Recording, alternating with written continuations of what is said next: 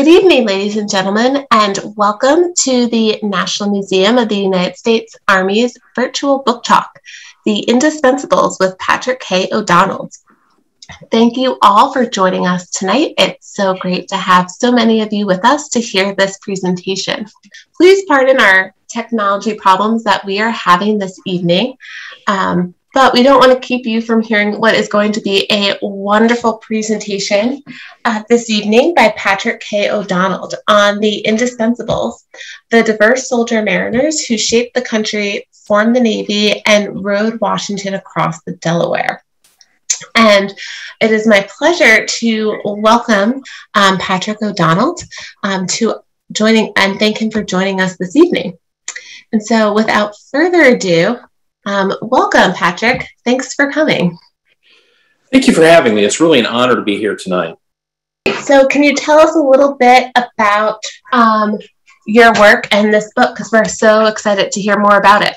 Sure. Um, this is my, I'm a military historian, and this is my 12th book, my uh, 12th best selling book, actually. And the Indispensables has actually gone through about eight print runs already. And um, it's, it's a it's an important story, and I ask a single question uh, before I write any book: Who cares?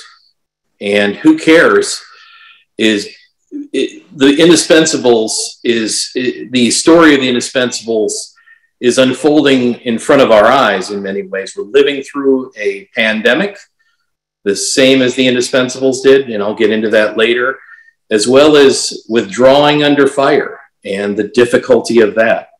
And let me just kind of go right to that moment and let me take the, the, the viewers to the summer of 1776, August 1776. And at this point, it's the Battle of Brooklyn. On August 27th, the battle unfolds. It unfolds in a watermelon patch of all places. And uh, it's here that Lord Howe Clinton and the bulk of the British Army are making a flanking maneuver around the heights of Gowanus. And uh, this is basically surrounding a large portion of the American Army, which is out on this rocky height, uh, outcropping. That morning, around 4 a.m., the Americans are alerted to this battle and assume, uh, you know, march as quickly as they can to defensive positions around a place called Battle Hill, which is now uh, Greenwood Cemetery. And it's here that the Americans, um, primarily led by Lord Stirling, um, and a, this contains a contingent of Delaware, a regiment of Delaware uh, troops, as well as Marylanders, Maryland Continentals, and they face off against a force led by General Grant. And this is actually just a, a, a, a holding action on the part of the British. They're trying to pin us down as this main flanking maneuver comes around and it surrounds these men. And these men realize, to their shock and horror, that they are surrounded and they have to fight their way out. They fight their way back, specifically the Marylanders in particular, fight their way back towards their encampment, which was a, is a stone house, still exists, or portions of it exist today.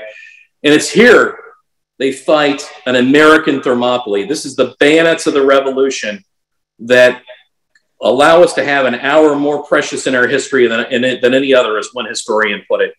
This American Thermopylae allows time to be bought and allows a gap, it, it creates a gap in the British lines that allows a large portion of the right wing of the, of the American army to escape to their entrenchments at Brooklyn Heights. And that is where we are. This is a crucial inflection point in the American Revolution. All can be lost. Everything if um, in Washington has a crucial decision to make, does he stand and fight or does he retreat? And that retreat falls upon the shoulders of the men that I write about, the indispensables. This is the Marblehead Regiment that literally the Revolutionary War is on their shoulders to survive. They have to row the army across the East River, which is a mile long, and they don't even know it at this time. They are reinforcing Brooklyn Heights on the 28th they go into the trenches, and the, the spirits of the army are immediately lifted. They say, Wow, these are the lads that might do something. And little do they know, um, they go into the entrenchments, and the American Army and the British Army are pelted by a nor'easter that um, you know floods the entrenchments, and both armies are watersogged. And uh, but meanwhile, Lord Howe continues a siege upon the heights of Brooklyn. He feels that the American army is trapped and there's no escape because the Royal Navy is parked on the East River and they're able to potentially come up behind the heights, the Brooklyn Brooklyn Heights, and uh, annihilate the British, the American army as as, as Howe comes forward um, in a land assault. And um, it's on the the night of August 29th. Um, the American Dunkirk, a miracle takes place, arguably the, the greatest evacuation in American history. It's here that John Glover's men, these Marbleheaders, that are roughly 600 men. Uh, they come from Marblehead, Massachusetts. And this is, a, you know, about 16 miles as the crow flies north of Boston. And it's the second largest city in Massachusetts. And also, it's one of the most uh, profitable uh, centers for commerce in Massachusetts. They're, they derive their living from fishing and trade. Uh, a large portion of the Massachusetts economy comes from fishing. And these men fish a place called the Grand Banks. This is, these are the most treacherous waters in the world, still to this day. Uh, you know, it's, a, it's about a thousand miles north of Boston uh, in the, in the, uh, the Atlantic Ocean. And, you know, the men fish uh, cod, which in most cases can be up to two or 300 pounds. They're massive, 100 pound cod that they fish and they have to also brave uh, waves and, and sea. You know, every year, scores of men die at sea. But this is which what hardens these men. It makes them the, the greatest mariners in the colonies as well. They learn to work as a team uh, very effectively. Life and death decisions are made instantaneously. Um, and they also happen to be a diverse regiment. In other words, there are African Americans, Native Americans, Hispanic Americans as well working side by side with uh, their white uh, brothers. And these men are a well-oiled team, a, an incredible, uh, there's inc- incredibly led and disciplined. And they need it on the night of August 29th because everything goes wrong. The East River is treacherous. It is filled with, you know, it's overflowing with, with water from the nor'easter. The tides and currents are swelling. The boats, um, they, they, they, they are ordered that night with only two hours of preparation to evacuate 9,500 Americans and their equipment. That includes all of the wounded and the sick. It is practically mission impossible. They are told that they are advancing when in reality they are, they are withdrawing towards the river. The rest of the army is also told that they are advancing, but in reality they are also evacuating. The reason being operational security. Washington knows a single traitor, either in the army or loyalists outside, can destroy and blow the entire operation. And that's exactly what happens at that night. It's attempted at least. A loyalist sees what's going on and sends an enslaved, um, one of their enslaved servants to notify the British. That individual, though, um, runs into several Hessian soldiers. They, they are not able to communicate, and the intelligence, this vital intelligence, is not properly communicated up the chain of command. Still, the evacuation proceeds. Everything is going wrong. Nothing is going right. The tides aren't working. The boats aren't going out. Still, they press forward. At that point, the commander of the operation, General McDougall, literally tries to call it off. They try to find General Washington. They can't find him that night. Things proceed forward. And the Marbleheaders push on. They are able to get across the East River with the first complement of artillery and some of the wounded men, and then they go back. And this process repeats itself 11 times. They go back and forth across the river. And it is incredibly difficult because the wind it, it initially does not cooperate with John Glover's Marbleheaders. And um, they're, they're straining with oars. They actually literally covered their oars with cloth to muffle the sound because the slightest sound could alert a massive 20,000 man army that is right uh, on the right next to the Continental Army. And if they attack at night, they could potentially crush Washington's, um, the, the bulk of Washington's army, and potentially even capture Washington, thereby ending the revolution.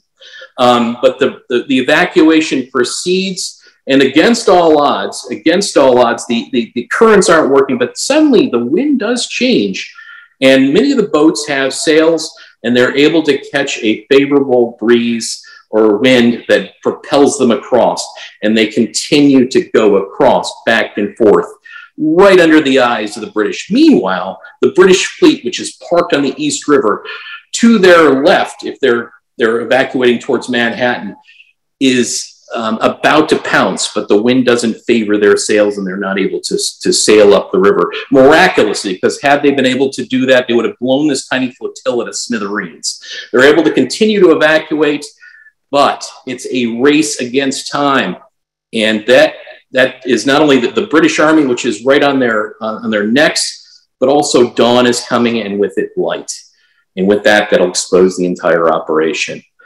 But um, as um, the men evacuate, there's chaos in the um, debarkation point. This is this is actually the um, the point now that this took place is one of the narrower points in the East River as it goes to the crossing to uh, Manhattan from Brooklyn, and that is now the current day location of the Brooklyn Bridge. And that night, uh, there was chaos um, in the uh, embarkation area, but it was the commander in chief himself that was one of the last men to leave. True leadership. George Washington is there and uh, displays an incredible um, amount of personal leadership and courage to restore order. He literally takes a massive boulder and raises it above his head and says that he will sink the, the, the boat to hell in front of him if there's not order and it's not restored. And, and sure enough, you know, with the commander in chief's charisma and gravitas, they're able to, he's able to restore order and the men continue to, to cross. And it's at that point, as dawn is coming, the first rays of dawn, a, a fog, a providential fog, as the men that were there described it, comes in and screens the movement of the remainder of um, the evacuation and thereby saves the Continental Army um, in the American Dunkirk. But that's hardly um, the end of the story. Uh, and what we find is the, Mar- the, um, the Marbleheaders are at the uh, vortex of battle on many, many occasions. They also play so many vital roles in the American Revolution um, from the very beginning. And um, let me sort of go back in time to that beginning and why they fought, why they put their fortunes, their lives, their livelihoods, their honor, everything on the line for a cause in a country that had really just been born. And it was them, they had played a absolutely crucial uh, role in that, in this American Revolution uh, from the very beginning. And The Indispensables opens with a very um, compelling scene. That scene is in 1769 on the rolling deck of a, a boat, a, a schooner called the Pitt Packet. And the Pitt Packet was returning from Spain with a uh, supply of salt. Salt happened to be, you know, an incredibly important preservative, um, and it was incredibly important for preserving the fish that these men had uh, caught at the Grand Banks, and that they would barrel and then send around the world and trade it for other goods. And they would trade it for some very important commodities, uh, including gunpowder, something we had we did not have a supply of, at least organically, or a production of in the colonies at that time, which I'll get into in a little bit. Um, on the Pitt Packet, though, that day, as they're coming back from Spain with this uh, supply or load of salt in the, um, in the hull of this ship, they are suddenly boarded or they, they're called upon by a Royal Navy ship and um, they're boarded immediately. And this is not a friendly boarding. the men all know exactly what it's about. It's not to inspect their goods and potentially, you know, throw some regulations at them. No, this is something called impressment. And impressment is effectively slavery. And if you're impressed upon the Royal Navy, in the Royal Navy, you never go home. In fact, in most cases, you're paid a pittance. Uh, your wages are withheld for about six months before you even get anything, just so that you don't run away. And if you run away, you potentially get killed. Um, but you're you're basically enslaved into service or impressed into service upon the Royal the Royal Navy ships, and the Royal Navy had so many ships that they needed men and bodies to crew them, and they scoured the earth for for individuals. And in fact, up to thirty or forty percent of the ships in the Royal Navy at this time were were impressed men, including these Marbleheaders. That, that is where they were headed. But instead of going willingly, they decided to fight back. And it's quite a dramatic story. The, um, a bag of salt spilled across the front of the deck. And as the officer, the boarding officer came aboard, he said, um, You know, you're, you're coming with us. And the, one of the main characters in my book, Michael Corbett, said, um, If you cross the line, and he literally took his foot and drew a line in the salt on the deck of the Pitt Packet. Said, if you cross the line, you're a dead man. And these men were armed with harpoons and hatchets and other things that fishermen normally have. And uh, this royal officer was very arrogant. He took a little whiff of snuff and crossed the line. And as soon as he did that, he had a, a jug, he had a, a, a harpoon in his carotid artery and uh, he screams out, The rascal killed me, as he falls to the, the, the deck, bleeding to death. And that is the beginning of the indispensables. It's a story of men uh, fighting back against tyranny. And this is a, a, a story about people fighting back against tyranny uh, because they're afraid for their lives. And uh, they're also being excessively regulated by um, a government 3,000 miles away where they don't have any representation at all. And there's a number of atrocities and massacres that take place and other incidents that will accelerate um, the situation, which I get into the, in the book. But um, after the incident with the Pitt Packet, we have um, one of the other characters in this book is John Adams, and he is arguably America's first super super lawyer. And it's John Adams that, that gets Michael Corbett, who threw that harpoon um, off uh, for murder. And he, they're tried for murder. And it's um, evidence that John Adams presents, as well as a very compelling argument that, the, um, that allows Michael Corbett to be exonerated of his crimes. Um, but this was initially for 1769 one of the crimes of the colonies or one of the crimes of that century. And it was a very, very big deal. But further incidents would, and atrocities in particular, would accelerate um, the clash that would eventually occur, which we now know is the Revolutionary War. And uh, the revolution, though, is starting to brew at this time. And uh, one of the major high points or low points is the what's known as the, the Boston Massacre. And it's here that um, a number of unarmed Americans, including a, the first African American, Crispus Attucks, is killed. And one of the main characters in this book, who has very extensive links to Marblehead uh, through his his um, friendship with several doctors that are main characters in this book, but also his mistress, which happens to be in the town of Marblehead, and that is Benjamin Church. And Dr. Benjamin Church is a Renaissance man. He's extraordinary. He's able to write poetry. He's able to to write um, books. He's able to.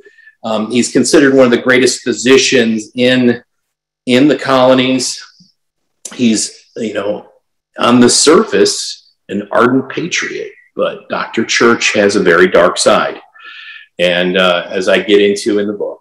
And uh, Dr. Church, though, is the first individual and the individual that actually conducts the autopsy on Crispus Attucks. And this continues, um, you know, additional things continue to fuel um, a, a, a, thirst for liberty um, and a thirst for um, for individuals that are they're fearing for their lives in many ways and their livelihoods. As I get into, um, you know, additional things occur, including um, the Boston Tea Party. Many of uh, several of the men that are in the Marblehead Regiment, or eventually were, are in the Marblehead Regiment later on, take part in the Boston Tea Party. And the Tea Party um, is, you know, it's initially it's, it's, it's, complicated in many ways. It's about um, the sale of tea and how it's going to be through the a single monopoly, the East India Company, and there's a number of things that are taking place. In many ways, you can boil it down to Americans don't like to be told what to do, and they're being told what to do. They're being regulated excessively, and they decide to take matters in their own hands. They they take um, tea that's in, in on several ships that are in Boston Harbor and they throw them overboard into the into the harbor itself and destroy thousands of pounds worth of really good tea. They do they do it very deliberately though, in the sense that they don't have any wanton destruction of anything other than the tea. They're trying to they literally replace the locks on the ship after they remove the tea. They're not trying to harass any of the crew members on board the ships. It's done in a very deliberate manner. They're trying to make a point. But the point that is made to them is the crown. And the crown comes down with an amazingly heavy hand. They decide to close the entire port of Boston, throwing everybody out of work. Um, in a series of what's known as the Intolerable Acts, they replace all the judges that are there with royal officials. These were initially elected officials before that. They replace the government. Uh, Massachusetts was largely self governing at that time. They replaced the government, they, they disband it, and um, life is becoming increasingly difficult. They also, for specifically with the Marbleheaders, they later create something called the Fisheries Act. And this is, they ban the Marbleheaders from fishing the Grand Banks. This shuts, will shut down the entire town. Everybody will go bankrupt, and they know it. Um, the Port of Boston is out of work. You've literally thousands of individuals that are out of work and starving. Um, you have the intolerable acts that are coming in, and the um, the British also start to target the American Achilles heel, and that is a lack of gunpowder. And this is where the Marbleheaders play an absolutely crucial role that has never really been written about or researched to, to a great extent, and that is the supply of gunpowder. And it's these men, through their trading contacts, largely with Spain in particular, they have an incredible relationship with the great trading houses in Spain. And they convert these trading routes into supply routes where they are bringing in the vital supply of gunpowder. It doesn't matter if you want to revolt. If you don't have gunpowder, you cannot um, effectively protect yourself or do anything um, that goes against the crown will. And the, the crown knew this and were actively trying to disarm Americans. All of the early operations, beginning with the Somerville powder alarm, so called, and this is on September 1st, 1774. The American, the revolution, which is political, which is peaceful largely, um, is, is changed, forever changed. The colonists see that the crown is actively trying to disarm them. And what happens that night after Gage raids the powder magazine is they find out about it, and rumors sw- uh, swirl that six Americans were killed. It's actually false, but they didn't know it at the time. The rumor was that six Americans were killed. And a crowd of thousands of, of um, men from all and women from all over Massachusetts descended upon Boston Common. they were, in some cases, armed, but it was still largely peaceful. They, they surrounded the uh, officials' homes uh, some windows were broken. I mean, there was a, it was pretty, uh, it was a situation where things were about to spiral out of control. And one of the main characters in this book, uh, Joseph Warren, emerges and uh, calms the crowd, says, Look, this is, we're not about to uh, conduct violence. This is a peaceful protest. And um, they disperse the crowd. Um, but this is the beginning of the revolution changing from a political revolution about freedom and liberty and other thought, uh, other things that are really unique and novel for this time. One of the key members of this regiment is also a man by the name of Elbridge Gerry, who will be the future vice president. But Elbridge Gerry, his views on republicanism, this is with a small r, and this is about you know service to to individuals, service to country. It's about freedom and liberty. His views of freedom and liberty. This is something that is imbued in our founding ideals. Elbridge Gerryans in the Marbleheaders play a major role in the political revolution that is that is gelling in 1773, 1774. um, but let me just back up one year and a few months, basically. And as this stuff is going on, you have these these different um, atrocities, such as the the the, um, the closure of Boston Port the intolerable acts in Marblehead in 17 in the in the uh, middle of 1773 1774 the um, the town it, which actively trades around the world it's it brings in something an invisible killer. And you've got all of these kind of factors going on but layered upon that is a virus that is a deadly virus that is introduced to Marblehead it's also introduced to the colonies, and it will play a key role in the um, the American Revolutionary War, and it's a marbleheader that will save the army.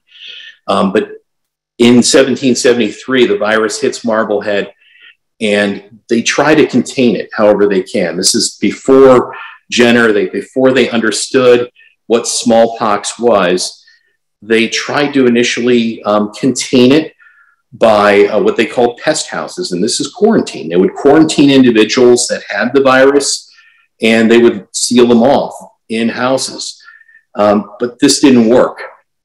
And it would be the patriots in the town who were the members of the Marblehead Regiment later that would come up with a novel idea. And that novel idea was very cutting edge at the time. And that would be an inoculation hospital. And they, they set up an inoculation hospital in a, on an island outside of Marblehead called Cat Island. And they built a hospital with their own money. And they financed the hospital and then they financed the doctor who would run that hospital. And one of those individuals is the main character of my book, Dr. Nathaniel Bond, who is an expert on, on viruses, specifically smallpox. And they were um, inoculating individuals, but this was this was cutting edge science for the time, and it was dangerous work. It didn't always work. And uh, what happens, it's almost like a Russian roulette in some cases. Most of the time, the inoculation succeeded, but sometimes it didn't. And it could kill the patient because what they literally would do would take a knife and lance the top of your shoulder and place a small, tiny portion of the virus, active virus, in the body. And your body would create antibodies and uh, fight it off hopefully. Sometimes it didn't work. And what, what went on, though, is that the virus divided the town politically. The loyalists in the town used the virus um, against the patriots of the town, and they organized a um, initially a, a, group of about a dozen individuals at the dead of night. They rode across the, um, the, the harbor and they raided Cat Island and they torched the hospital with everybody inside uh, including women and children. And miraculously, nobody died. But um, this political violence uh, incinerated the hospital. Patriots lost all their money, and it slowed the efforts for inoculation. The Patriots obviously weren't very happy about this, and they they went to the local sheriff and they got a writ, and they arrested the individuals, the perpetrators, and they were brought to jail. But the Loyalists organized a massive mob of over a thousand people and they stormed the jail with axes and crowbars and broke the individuals out, paraded them in the town, and then they assaulted the homes of, of the main characters in the book. They surrounded the homes of these men and uh, attempted to potentially kill them. And uh, this is where the main character of my book has an incredible stand. Um, he realizes what's going to happen and he wheels a four pound cannon. Uh, this is a four pound being the, the size, the, the, the, three pound cannon, I should say, three pound ball into the into the foyer of his home, and waits for the crowd to surround his his house, get on the front lawn, and as he does that, he orders his front doors swung open, and he has a lighted torch in his hand, and orders the crowd to disperse. It's it's really a you know really quite a, an epic stand and an example of his leadership and the crowd um, they disperse. And he holds his house his he stands his ground and holds his house. And um, the uh, the men the, the loyalists in the town have a brief victory uh, and they're able to politically control uh, Marblehead but that's that switches over uh, after the Boston Port Act and the the crown is really falls into disfavor at this point. You know, people are really recognizing that their livelihoods are in danger and their lives are in danger because they're being actively disarmed, and uh, you know they're they're fearing for their lives, um, and that's where we come upon a series of what's known as powder alarms. And uh, the first being the Somerville powder alarm that I mentioned in 1774 in September, and it's followed by um, an attack on Fort William and Mary, where the first shots are fired and the first blood is shed. And this is in December 1774, and the Marbleheaders play a key role in this as well. Um, and one of the captains from that raid um, becomes a captain in the uh, it's later the Navy, and I get into that in, uh, as well. But it's this quest for gunpowder. Gunpowder it was my uh, editor's idea. Gunpowder is literally a character in the book because it's so important. It ties all of these uh, crucial um, operations together. Um, and and the, the, this is very important because it's driving everything. And this thirst for powder is driving uh, the Marbleheaders to seek it out in Spain. And our first foreign aid comes from Spain in 1774. The powder supplies at Lexington and Concord, which are which I later described, are largely from the Marbleheaders. And this is largely from uh, the, Spa- the, Spanish uh, that have furnished it with us, including weapons, small arms, in, in cannon as well. And um, uh, Gage realizes his predicament. He has, in a countryside of swarming with tens of thousands of armed Americans, but they don't have any powder. And he, um, he doesn't have enough troops, though. He's only got about 4,000 troops to garrison all of North America. So he wants to buy time and potentially defang this revolution. And he continues to do surgical strikes um, that many cases fail. Uh, there's after the, the Fort William and Mary uh, situation, where the Patriots are able to get over 100 barrels of gunpowder, uh, another powder alarm occurs at Salem, where the, the Gage tries to raid Salem. They land it near, in nearby Marblehead uh, to seize powder, and it, it's a debacle. It doesn't work out at all. Um, and then it, it's, it's preceded by the operation at Lexington and Concord and supplying General Gage with all the, the, vital information that he could ever want of where these supplies are located, who the ringleaders are, is Dr. Benjamin Church, who's sort of a, a central character in the book. He is um, close friends with the main, some of the main doctors in this book, who are also the main leaders of the American Revolution. Dr. Joseph Warren is a very close friend of Dr. Benjamin Church, and he is a close friend of Dr. Nathaniel Bond. And Dr. Bond um, and Dr. Warren share a very interesting and unique um, side of them. They are what's known as resurrectionists. And this is a uh, 18th century body snatcher these men, in the name of science, would go to graveyards to dig up bodies to to uh, to conduct autopsies. There were no, there was no supply of bodies to conduct autopsies, so they did it covertly, and they were part of a society uh, that was linked to Harvard.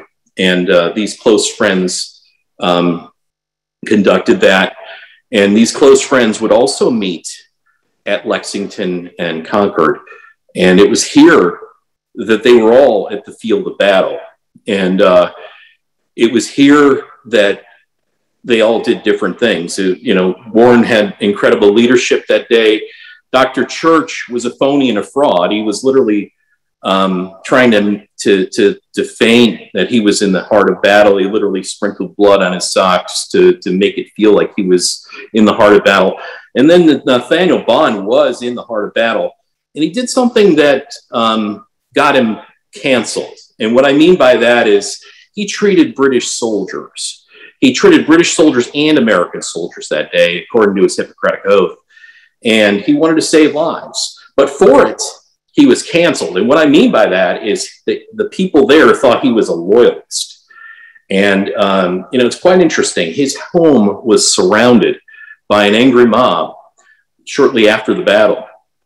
And I have an original four page letter that he wrote to Elbridge Gerry pleading with Gerry that if he didn't send an armed uh, guard to his home, he would be dead in the morning because there were there were he said thousands of people that were meant to kill him, and uh, they send a guard detail, and he testifies in a court martial that he is innocent. And I think this is really one of the most extraordinary stories in the Indispensables. Instead of, you know, he, he was dishonored there. It was a situation where his reputation was smeared instead of just leaving the Red Revolutionary War, he went along with it and he would become the fighting surgeon for the Marbleheaders. And um, he would fight through Lexington and Concord, all of the major battles, through the American Dunkirk to where the final high point of this book is occurs, and that is the 10 crucial days which make our country, and that is the battles uh, that surround Trenton and Princeton. And it's here on Christmas Day that the, the Marbleheaders are, you know, once again called upon by Washington to do the impossible, and that is to cross the Delaware River. And uh, it's in, in the middle of a nor'easter. Again, the weather plays a major role. All the other operations that weren't crewed by the Marbleheaders fail only the Marbleheaders and their boats get across, and they have the main army, and they're at the top of Trenton, and they seize Trenton. And it's the Marbleheaders that play another key role that's not really written about, and that's that they seize arguably the most important real estate in North America, and that's the, the bridge over the Assunpink Creek. So instead of a um, a battle that is a, a win for the Americans, it is a crushing defeat for the British, uh, and specifically the Hessians. Uh, and they are surrounded by a double envelopment. Their escape route, they're pretty much their only escape route, or main uh, escape route, which is across the Assunpink Bridge, is cut off by John Glover and his Marblehead men and his brigade. He's a brigade commander at this point. And uh, it's a crushing defeat. And the Marbleheaders then play a role in the Second Battle of Assunpink Creek part of the regiment, um, their enlistments expire and they go home. John Glover, for instance, has a ailing wife who is on her deathbed and he goes home for her. The town of Marblehead is, is bankrupt. People are starving. So part of the regiment goes home, but others stay, including Dr. Nathaniel Bond and many others. And Dr. Bond saves the army with his actions because at this point, after the Battle of Princeton, they retreat um, to Morris to Morristown, and the army is being killed now by the silent killer, the invisible killer, the virus. It's killing up to 20% of the army. Um, people are, the, the, the, men are dying left and right. And it's here that Washington um, orders the first national um, health order, if you will, and that is to inoculate the army. And he calls upon the most experienced virologist, the man that knows it, the man that saved or tried to save Marblehead, the man that was canceled initially, and that is Dr. Bond. And Dr. Bond um, sets up all the, the, the inoculation hospitals. He personally conducts many of the inoculations.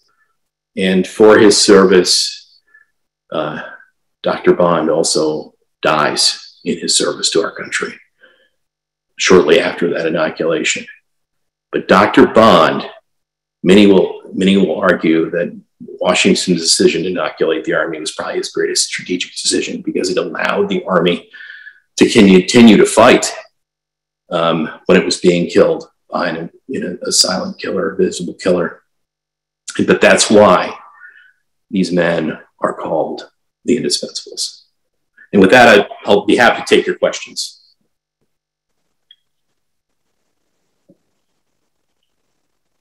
Thank you so much, Patrick, for the presentation. And um, I want to ask the first question.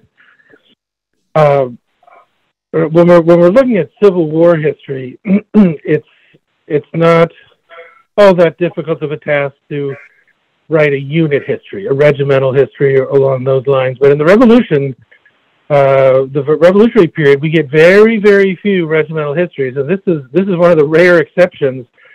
So, was this unit, the, was the Marbleheaders, Glover's Regiment, were, is there um, uh, more material out there than most other units? And if so, how did you get to that uh, that research, and how did you find so much uh, material to, to write a book of this uh, of this magnitude?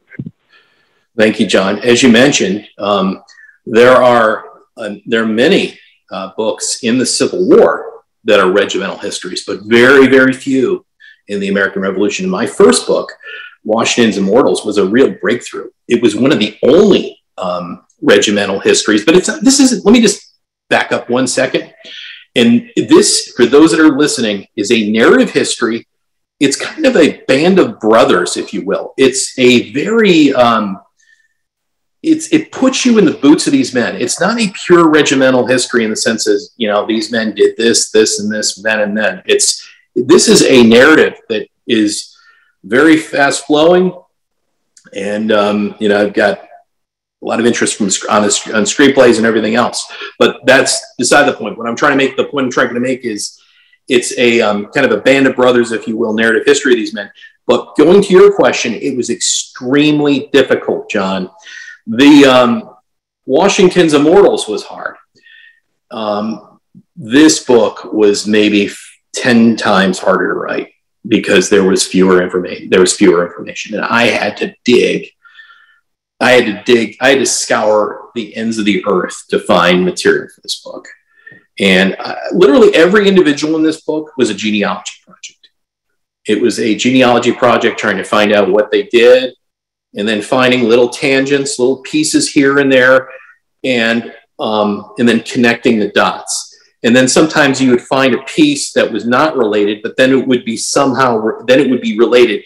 This is a complex kind of picture a Roman mosaic that's 2,000 years old, that's shattered into 10,000 pieces or more, that are scattered all over the place, and you're the guy that has to put it together. And that was that was kind of where I was at. And I was I went from all kinds of archives, from the New York Historical Society to the Beverly Historical Society, Marblehead Historical Society, Peabody Essex, uh, British Archives, you name it. Um, I was looking for it to reconstruct this story and um, into a, a, into a narrative with an arc, and um, that was that that it was ex- it was sectionally difficult, um, but the uh, the reward, I guess, to some degree, is I've had the town of Marblehead celebrate the book and really embrace it, and many of the families that I've written about in the Indispensables are still still there. Um, in some cases,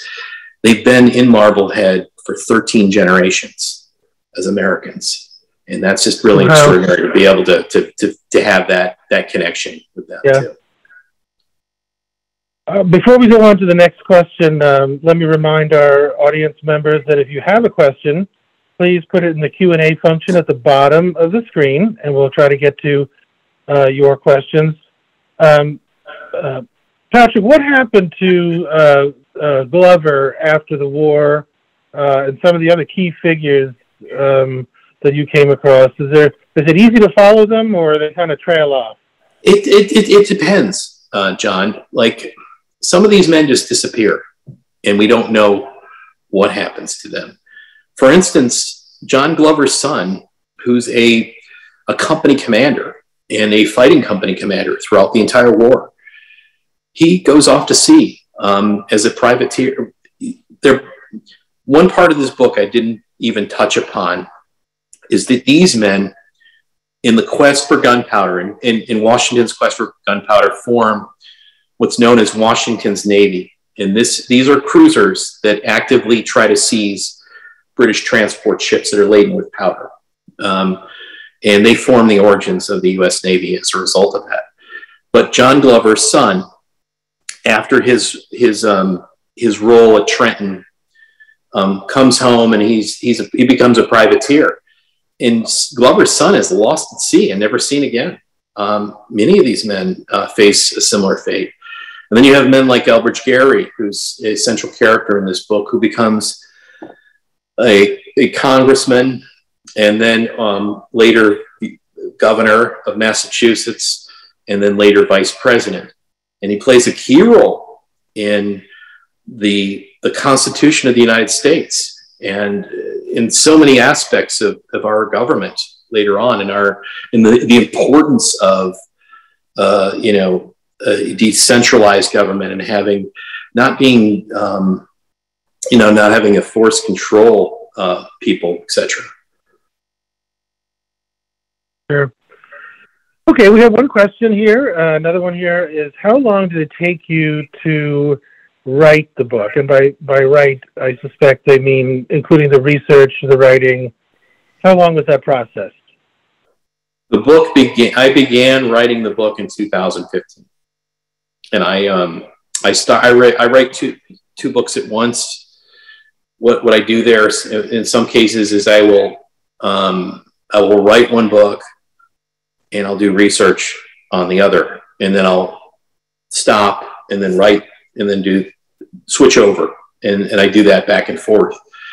And uh, it was a long process.